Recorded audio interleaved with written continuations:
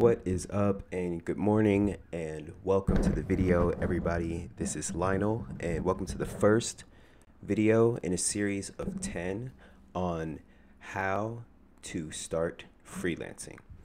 And this is from people who are self-taught and also for people who are in school to become to get a computer science degree. Anybody who wants to make money digitally, basically, we are going to take this industry by storm, break into the industry the same way that I did. I'm now reaching back and helping those slightly further uh, behind me in the path. A little bit history on myself. I'm a self-taught person who, you know, made it out the mud on my own with nothing but mostly free YouTube resources. And now I'm teaching others to do the same. I've been getting told that there's a lot of negativity out there in the industry about coding, about artificial intelligence taking our jobs, which I don't believe is true.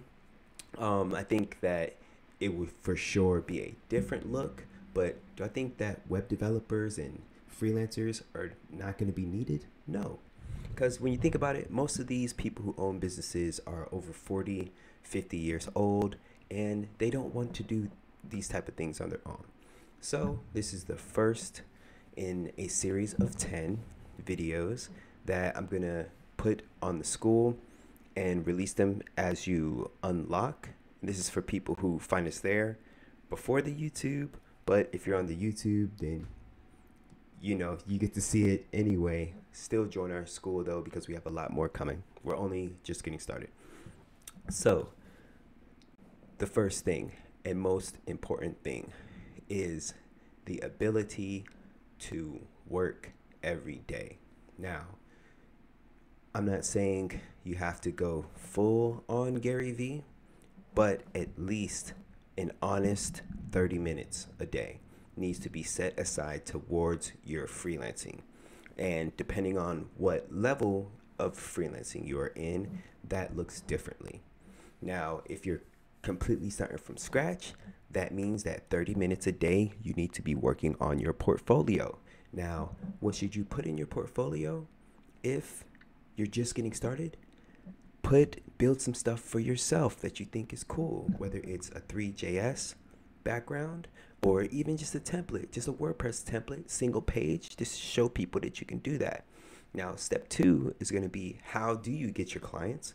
But step one, in order to get your clients, you need to have something to show people. People need to see that you are a motivated person who can solve problems, who can get things done. This is how we will get our clients to trust us because a lot of people who are starting businesses have too many things going on at once. They're wearing all sorts of different hats. So if they see this self taught person arrive, appear out of nowhere, who's going to solve their problems and make their life easier, it's a no brainer for them. So, number one, once again, is the ability to do things every single day, even when it's hard. There's going to be easy days, there's going to be medium days, and there's going to be hard days. The easy days, you're going to work want to work anyway. The hard days, you need to push through and work on those days as well. Because that's the thing we're doing this this year 2024 we already have one month down. We have 11 months to go. We are going to get working to get active now. Time waits for no one. We're not waiting for time. The sooner you start working one thing you need to realize is that as soon as you start working on projects that you're creating as soon as you start coding now you're a developer they say fake it till you make it. That's not faking it. Once you are coding, once you're going to Barnes and Noble every day, once you're going to the coffee shop, once you're sitting in your office every day, opening up your computer every day, clocking in mentally, turning off your phone, ignoring social media for a little bit, for 30 give yourself 30 minutes a day if you're just starting off and you're struggling with that. Okay, the courses are super easy to follow. We're still going to do courses because we still need to know the language and we need to be able to talk the talk and we need to be able to understand what the function is, what a loop is. If we're using React, we need to understand what a component is. But more important than that, we need to work apart from the course. We need to clock in and use our time to build ourselves every single day. A small amount of time every single day goes a long way. That's the first video. And thank you for following. Please like, share, and subscribe. This year, we're taking the industry by storm.